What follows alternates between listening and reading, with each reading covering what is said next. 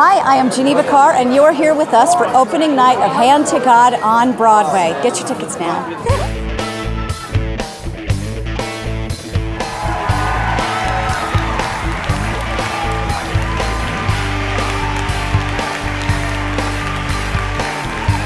We just opened a show on Broadway. I mean, that's crazy. Um, and, and especially coming from like an off-off venue like EST, and to build this play for so long, and now to like arrive here for like such a raucous audience is unbelievable. It feels like vindication for a lot of hard work that not only I've done but other people have done. You know, there have been people who have supported me every step of the way in my ambition to be a playwright, and the fact that everybody believed in the play and myself, and that their belief has been rewarded, is is really it feels very whole and healthy and lovely.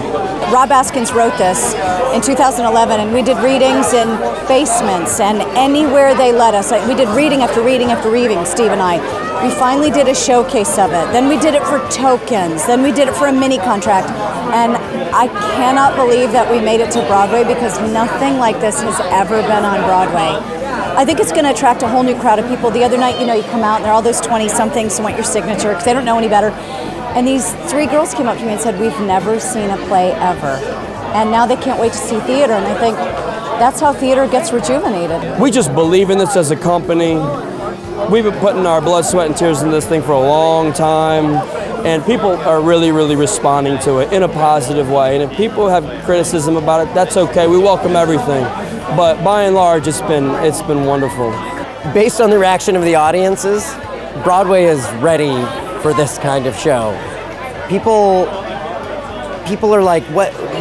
Where did this come from? And how, how did you get here?" And my response is, "This came from off Broadway."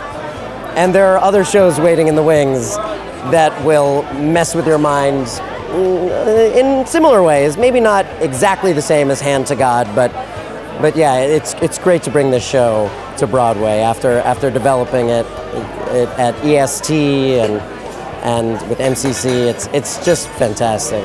People come to see the show and they go crazy.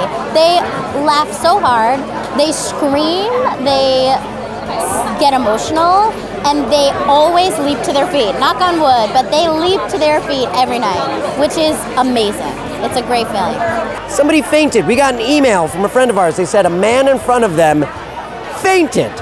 And then all the people around him started fanning him with their programs, and then he woke up two minutes later and was like, ah. He fainted. I think that's the best review we're ever going to get. A man fainted.